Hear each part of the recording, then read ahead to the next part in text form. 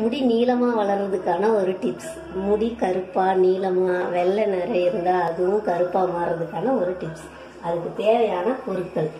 First வந்து கத்தாழையை நல்லா அலசிட்டு ரெண்டு நாளைக்கு முன்னாடி கட் பண்ணி அதில் வெந்தயத்தை வச்சு கட்டி வச்சிடணும். அது ரெண்டு நாள் கழித்து இந்த மாதிரி துளுத்து வந்திருக்கும். அதை வந்து பொடி பொடியாக கட் பண்ணி வச்சிங்கன்னா அதுக்கப்புறம் இது பாருங்கள் இதுக்கு பேர் வந்து கரிசலாங்கண்ணின்னு சொல்லுவாங்க. இது வந்து ஒரு இரநூறு கிராம் அளவுக்கு எடுத்துக்கோங்க. செம்பருத்தி ஒரு செம்பருத்தி இலை ஐம்பது கிராம் அளவுக்கு. அதுக்கப்புறம் வந்து முருங்கைக்கீரை ஒரு அதே மாதிரி இரநூறு கிராமுக்கு இது அதிகமாக இருக்கிற மாதிரி இருக்குது. நாங்கள் கம்மி பண்ணி வச்சுப்போம். அதுக்கப்புறமா வந்து கடைசியாக போடுறதுக்கு வந்து நூறு கிராம் வெங்காயம் துண்டு சின்ன வெங்காயம். அது இது இது இந்த பொருளுக்கெலாம் வந்து ஒரு ஒரு லிட்டர் எண்ணெயை காய்ச்சிக்கலாம். ஒரு லிட்டர் எண்ணெய். நான் வந்து ஒரே பாட்டிலில் வைக்க முடியாதனால ரெண்டாக வச்சுக்கிறேன். இப்போ வந்து அது காய்ச்சல் எப்படின்னு பார்த்துக்கலாம் ஒரு பெரிய கடாய் எடுத்து வச்சுக்கோங்க. அதில் வந்து இந்த ஒன்றரை லிட்டர் எண்ணெய் இந்த ஒரு லிட்டர் எண்ணெயும் வந்து கலந்துக்கணும். வந்து ஃபுல்லாக ஊற்றிக்கலாம்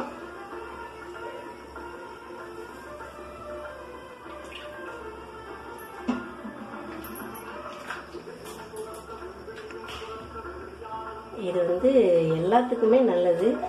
முடிக்கு மட்டும் இல்லை இது உடம்புக்கும் நல்லது. வெந்தயம் உடம்புக்கு குளிர்ச்சி கரிசலாங்கண்ணியும் குளிர்ச்சி தான். முருங்கைக்கீரையில இல்லாத நல்லதே கிடையாது அது உங்களுக்கே தெரியும். அதில் வந்து நமக்கு தேவையான சத்து இருக்குது அதனால தான் முருங்கைக்கீரை போடுறோம். இது வந்து உடம்புல ஏதாவது அதாவது இந்த சொறி மாதிரி அது மாதிரி எதனா இருந்தால் அந்த இடத்துல எண்ணெய் தடவுனாலும் தடவினாலும் அந்த சரியாயிடும் அதே மாதிரி உள்ளுக்கு குடித்தாலும் உங்கள் வயிறு சுத்தமாகும். இது கொஞ்சம் காயட்டும் காஞ்சதுக்கப்புறம் ஒன்று ஒன்றா போடலாம். எண்ணெய் காஞ்சிடுச்சு. இதில் வந்து ஃபஸ்ட்டு நம்ம அதை கட் பண்ணி வச்சுக்கிற கட்டாயை போட்டுருவோம்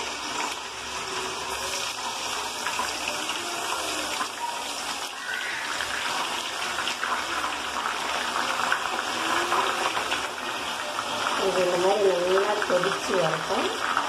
இது தண்ணி அந்த சத்தெல்லாம் அடங்கிறதுக்கப்புறமா வந்து செம்பருத்தி இலை அதுக்கப்புறமா முருங்கை போடலாம். பார்க்கலாம். இப்போ இது கொதிக்கிட்டோம்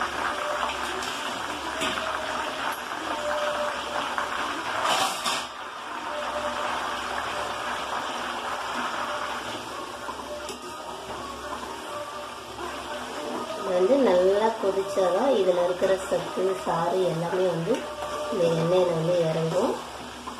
அதனால நல்லா கொதிக்க வச்சுக்கணும் ஃபஸ்ட்டு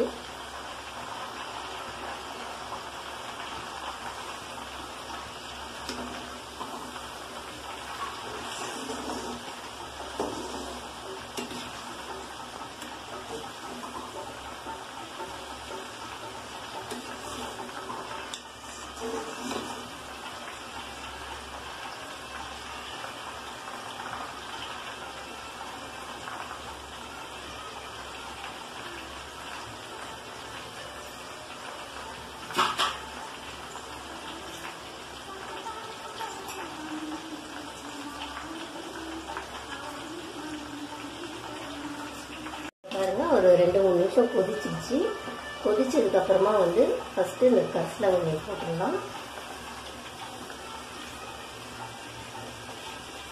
இது வந்து மொத்தமாக ஒரு பத்து நிமிஷம் கொதிக்க வச்சா போதும். எல்லாத்தையும் போட்டு கேப்பில் ஃபஸ்ட்டு வந்து இந்த கரிசலாங்கண்ணி போடணும். இதோட சத்தம் அப்படி அந்த ஈரப்பதம் அடங்கின உடனே அதுக்கப்புறமா வந்து செம்பருத்தி இலை போடலாம். இப்போ இது கொஞ்சம் ஒரு ரெண்டு நிமிஷம் இது கொதிக்கிட்டோம். வச்சு அப்போ வந்து நம்ம இந்த செம்பருத்தி இலையை போடுவோம். இதுவும் அதே மாதிரி ஒரு அஞ்சு நிமிஷம் கொதிக்கிட்டோம். கொதிச்சதுக்கப்புறமா நம்ம இறக்கி வைக்கும்போது லேசாக அது ஒரு கொதி வந்தால் போதும். அந்த பதத்துக்கு மூணு இலையை போட்டால் போதும். அது ரொம்பலாம் கொதிக்க விட வேணாம். இந்த பச்சை வாசனைலாம் போய் அது நல்லா எண்ணெயில் அப்படியே முருகலாக ஆகணும் அந்த மாதிரி கொதிக்க வைப்போம். இலை போட்டு நல்லா கொதிச்சிடுச்சு. அந்த செம்பருத்தி இலையில அந்த ஈரெல்லாம் போயிடுச்சு. இப்போ வந்து முருங்கை இலையை போடலாம்.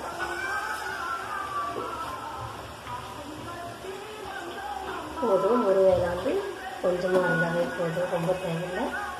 இதை வந்து ரொம்ப நேரம் கொதிக்க விடணும் போட்ட உடனே அந்த வாசனை ஒன்று வரும். அது வந்த உடனே ஆஃப் பண்ணிவிடுவோம் உங்களுக்கே அது தெரியும். மீனாக போட்ட உடனே.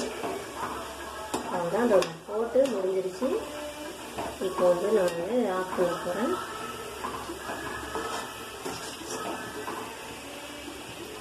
ஆஃப் பண்ணிவிட்டு கடைசியாக கட் பண்ணி வச்சுக்கிற இந்த சின்ன வெங்காயம் ஒரு நூறு கிராம் வெங்காயத்தை இதுக்குள்ளே போட்டுக்கலாம். போட்டு இப்படியே மூடி வச்சுட்டு நாளைக்கு இது நாளைக்கு தான் வந்து வடிகட்டணும். வடிகட்டினதுக்கப்புறம் இந்த பொருளை எல்லாம் வேஸ்ட்டாக தூக்கி கீழே போட வேணாம். இதை மிக்சியில் அரைச்சி நீங்கள் தலைக்கு குளிக்கும் போது பேஸ்ட்டாகவும் யூஸ் பண்ணலாம். இதை நான் உங்களுக்கு நாளைக்கு வடிகட்டும் போது சொல்கிறேன்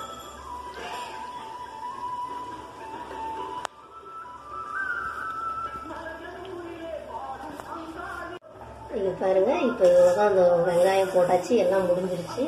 இதுக்கப்புறம் இதை வந்து மூடி வச்சிடலாம். மூடி வச்சுட்டு இன்னைக்கு ஃபுல்லாக இன்னைக்கு காய்ச்சி நாளைக்கு காலையில் இதை எடுத்து ஒரு பாட்டிலில் ஃபில்டர் பண்ணி வச்சுக்கோங்க. ஃபில்டர் பண்ணிவிட்டு இதில் போட்டிருக்க இந்த கத்தாழை கரிசனமணி இது எதையுமே வந்து வேஸ்ட் ஆக்க இது நாளைக்கு வந்து பேஸ்ட் பண்ணி தலையில் போட்டுக்கலாம். அது வந்து வீணாக்க தேவையில்ல. அதுவும் சத்து தான் இது வந்து யூஸ் பண்ணி பாருங்கள் கண்டிப்பாக உங்களுக்கு டிஃப்ரென்ஸ் தெரியும். தெரிஞ்சால் ஃபீட்பேக் கொடுங்க. கமெண்ட் பாக்ஸில் சொல்லுங்கள் இந்த சேனலை சப்ஸ்கிரைப் பண்ணுங்கள் பெல் பட்டனை